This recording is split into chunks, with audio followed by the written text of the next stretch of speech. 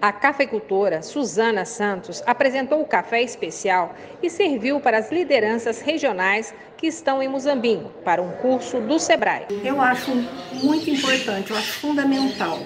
Você está cercado de amigos que tem a sua outra rede de amigos e essa divulgação do boca a boca, da apresentação, do conhecimento de novos produtos é muito importante.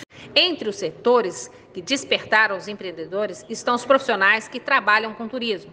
O café é uma atração típica do sul de Minas e, na retomada das atividades econômicas, é um destino procurado. O café, na nossa região, é primordial né? É uma cultura que predomina aqui, ela gera emprego, gera renda e gera desenvolvimento aqui na região.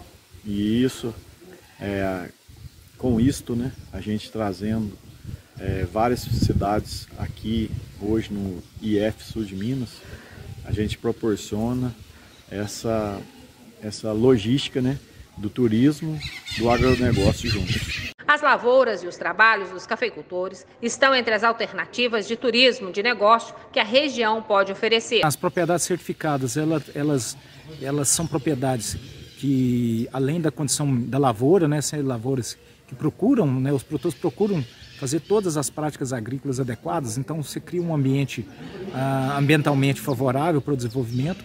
São propriedades em que a propriedade, a casa né, do produtor, ela também ela passa por um processo de mudança. Então isso, lógico, atrai também né, a, a questão do turismo.